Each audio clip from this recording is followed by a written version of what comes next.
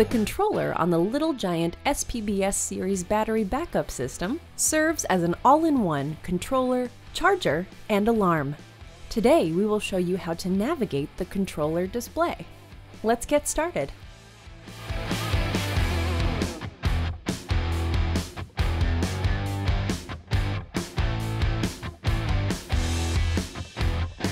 The left side of the display shows an approximation of the battery charge.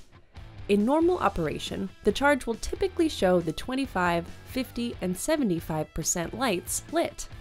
When these indicators are lit, the system is indicating the approximate power available to the pump.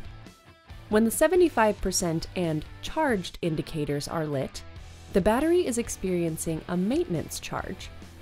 This means the charger is maintaining the maximum capacity the battery is capable of producing.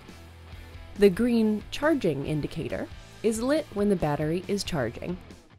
The low battery indicator is lit when the backup pump will not function correctly. For reference, a new fully charged 90 amp hours deep cycle battery allows the backup pump to operate for about one day assuming the pump has a cycle of 1 minute on and 4 minutes off. The time you will have to power your backup pump depends on the age of the battery, the charge in the battery, and how often the pump must run. The primary pump must be made operational in the time you have left before the low battery indicator comes on.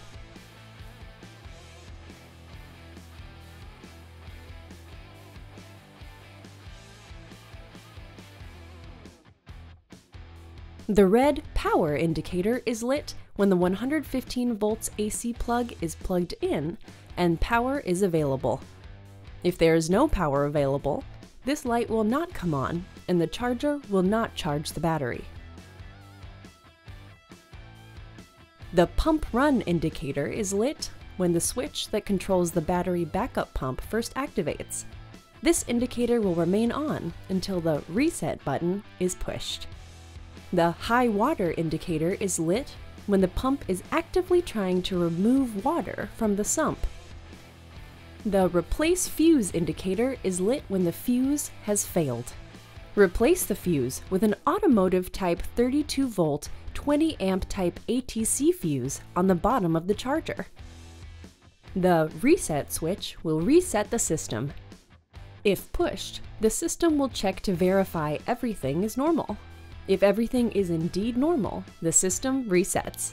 If there are any problems, such as an activated switch, the indicator light will again be lit, an audible alarm will sound, and the battery status will be verified.